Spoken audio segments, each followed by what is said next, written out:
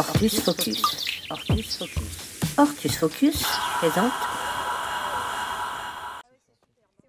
Cette année, le Festival international des jardins de Chaumont-sur-Loire nous présente une édition spéciale Pouvoir des fleurs. Et pour Nicolas Orgelet, l'un des concepteurs du Jardin Phénix, les fleurs ont le pouvoir de redonner vie à un paysage dévasté par les cendres. L'idée, c'était vraiment de parler du pouvoir de résilience de la nature après une catastrophe.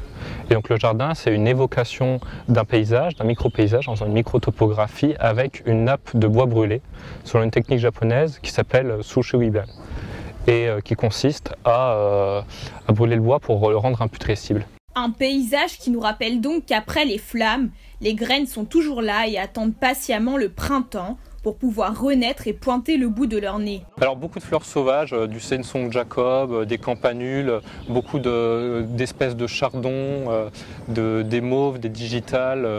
C'est des plantes finalement qu'on voit dans le quotidien mais auxquelles on ne prête pas attention.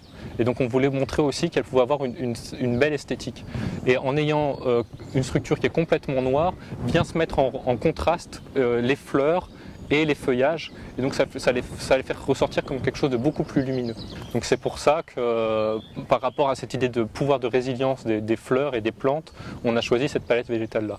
Alors assez étonnamment, en fait, on reste sur une palette végétale qui est blanche, jaune et violette, mais ça s'est fait naturellement. En cherchant l'ensemble des plantes rudérales, on a eu presque que des, fleurs de cette couleur là. Donc c'est des plantes qui résistent en climat hostile, qui poussent en climat hostile, en climat rude.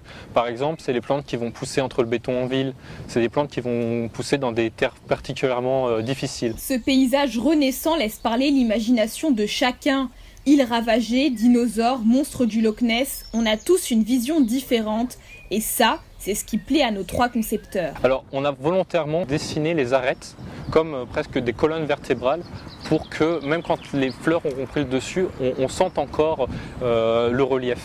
Et alors après, vraiment, euh, les animaux, c'est plus l'imaginaire de chacun, mais ça, ça nous plaît parce que c'est un peu comme quand on regarde les nuages et que tout le monde voit un animal différent, bah, quand on regarde un paysage, chacun peut l'interpréter différemment. Alors après, il y a aussi des gens qui nous ont dit, ça ressemble beaucoup aux îles euh, quand un, tsunami se retire. Et, ça, ça nous plaît aussi, parce qu'on est vraiment dans l'idée du paysage après la catastrophe.